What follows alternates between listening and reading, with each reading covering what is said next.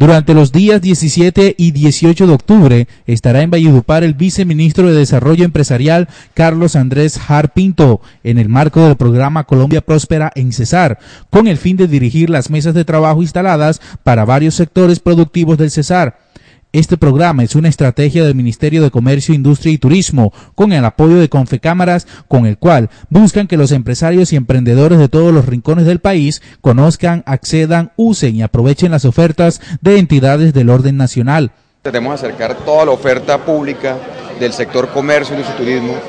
a los empresarios en todo el país y acercarlo a las necesidades específicas de cada región. Entonces, con, con el evento que tenemos durante estos dos días, lo que hacemos es mostrarles oferta en materia de innovación, en materia de oportunidades de comercio exterior, de ofertas de financiación, para que los empresarios conozcan esa oferta y además nos retroalimenten respecto a las necesidades específicas de ellos y ver nosotros cómo podemos también ir ajustando esa oferta a esas necesidades específicas. Colombia Próspera ofrece actividades a través de talleres, reuniones y paneles de expertos en donde los asistentes podrán seleccionar de acuerdo a sus expectativas y necesidades en temas macro, oportunidades de negocios, innovación, fortalecimiento sectorial y financiamiento para sus ideas o transformación de sus negocios.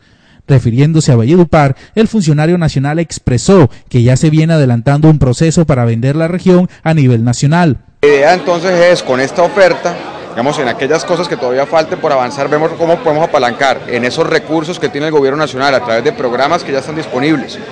créditos que también podemos otorgar y recursos no reembolsables a través de entidades nuevas como la Unidad de Desarrollo e Innovación Impulsa,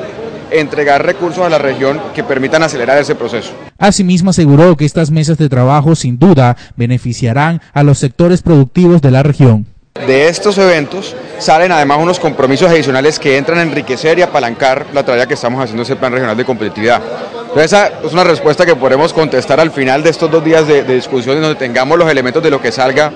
de esta, de, esta, de esta discusión. Pero la idea es que podamos enriquecer ese plan regional de competitividad con lo que salga de acá y acelerar ese proceso para llegar a esas, a esas metas más rápido.